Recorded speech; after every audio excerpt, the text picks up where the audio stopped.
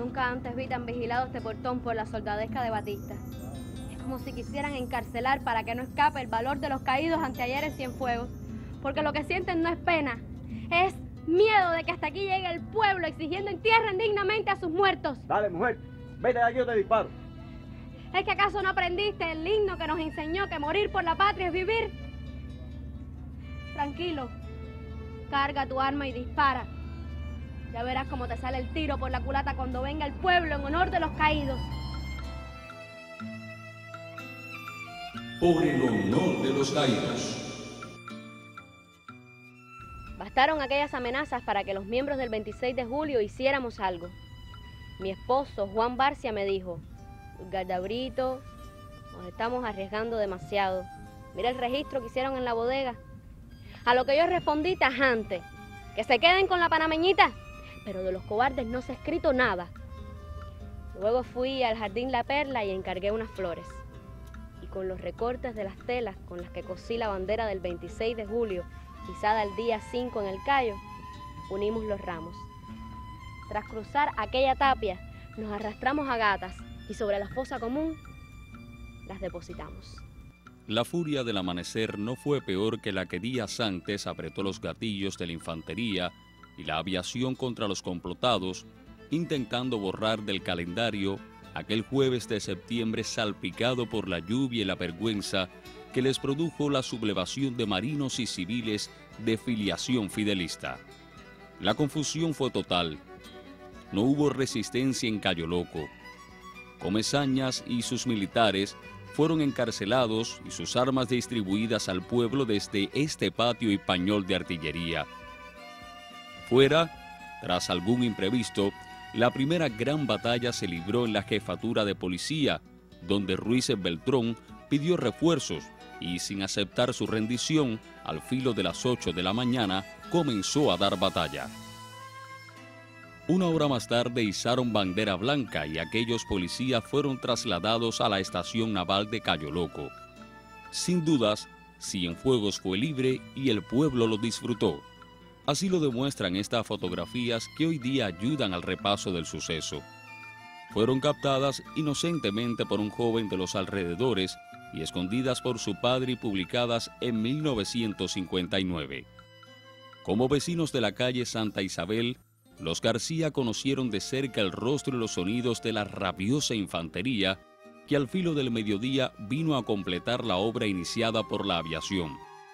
Las órdenes del tirano fueron contundentes y 24 horas después de iniciada, concluía la resistencia de los últimos baluartes rebeldes desde la azotea de San Lorenzo.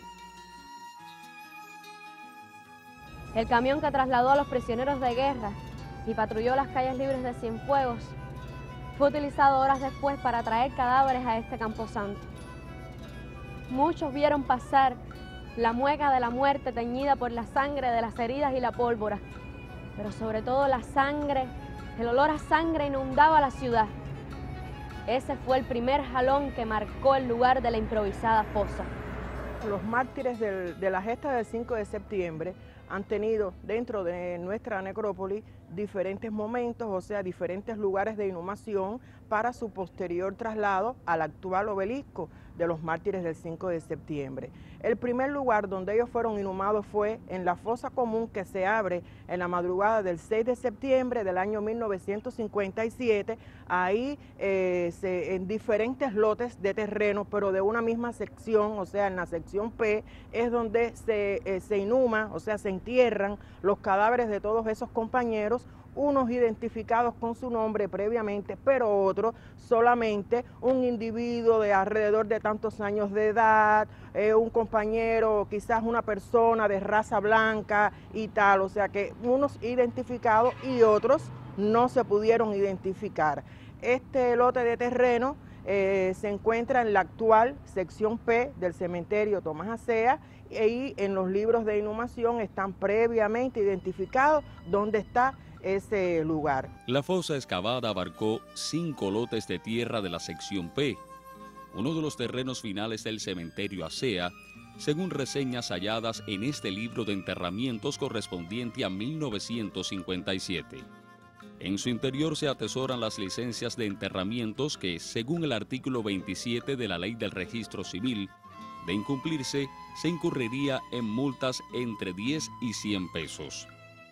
Del análisis de los 54 permisos que constan, verificamos que la fosa donde se enterró a los complotados abarcó los lotes del 49 al 53 y que, amén de la prisa, estas licencias se rellenaron con los datos que se tuvieron a mano, como nombres, edades, domicilio, oficio, hora aproximada de la muerte y lugares de estas, logrando precisarse los que murieron en el distrito naval, en los alrededores o azotea del Colegio San Lorenzo o en la terraza del ayuntamiento.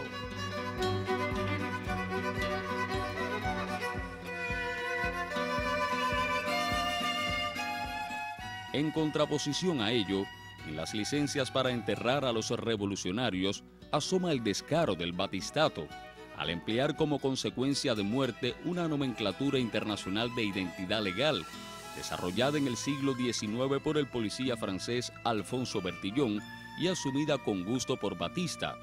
La causa 197 del Bertillón, que al abarcar diversas causales criminales, sirvió a Batista para ocultar la verdad de las muertes por torturas, tiros a boca de jarro o leyes de fuga que aplicaban a sus víctimas. Lo que llama verdaderamente la atención es que otros registros señalan enterramientos en lotes aislados y casualmente destacan por coincidir en las causas de las muertes a consecuencia de heridas de arma de fuego en acciones de guerra. Detalles que revelan sin miramientos de nombres o profesiones que se trataba de militares oriundos de la ciudad que repelieron la acción, pues se sabe que los soldados nativos de otras ciudades se enterraron en sus asentamientos. Llega 1959 y el triunfo de las ideas de Fidel. Los rebeldes con flores y la victoria en sus manos caminan junto a familiares de los caídos en una marcha espontánea desde la estatua de Prado y Saldo hasta el cementerio Acea, y a la que se sumó el pueblo para rendir tributo a los caídos en septiembre del 57. El 6 de enero, el líder del 26 desvía su ruta victoriosa y llega a la ciudad, aunque solo fuera para inclinarse reverentemente ante la tumba de los mártires del 5 de septiembre. No es hasta allá, después del triunfo revolucionario, en 1959, cuando se crea un comité pro víctimas a los mártires del 5 de septiembre y se les solicita a la Junta de Patronos del cementerio Tomás Acea, de la Fundación eh, Tomás Acea, que se ceda un lote gratuito a perpetuidad para que descansen los restos de esos compañeros. En el año 1960 se exhuman los cadáveres de, de los mártires y por algunos, los que no estaban identificados, se identifican por relojes de pulsera, por documentos que ellos traían, por algunas pertenencias y bueno, muchos compañeros que, actualmente eh, viven eh, nos han contado esta experiencia que han tenido y que de esa manera es que se realiza la exhumación e identificación de los combatientes.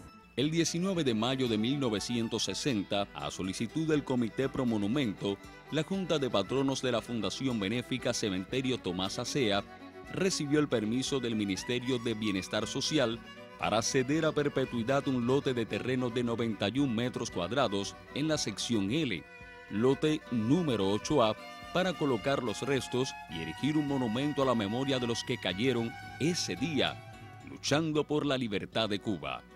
Ahí descansan los restos de estos compañeros y la peregrinación muchísimos años, hasta el año 1977, se realizaba desde el Parque José Martí hasta este primer monumento diseñado por Mateo Torriente.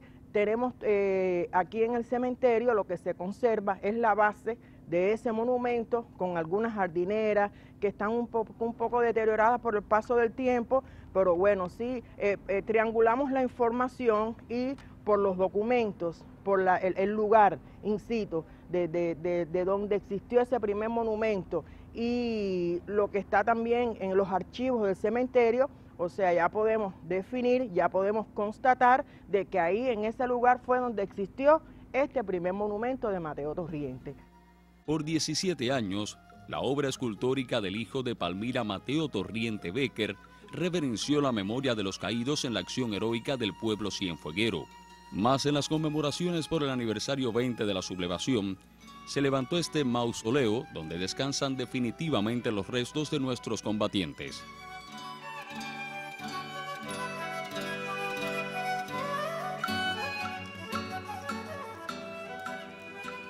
Desde aquella primera vez, cuando en 1959 los barbudos y el pueblo se unieron para reverenciar a los mártires del 5 de septiembre, el pueblo seguirá juntándose cada año para recorrer las calles que antaño se mancharon de sangre y llegar hasta aquí por el honor de los caídos.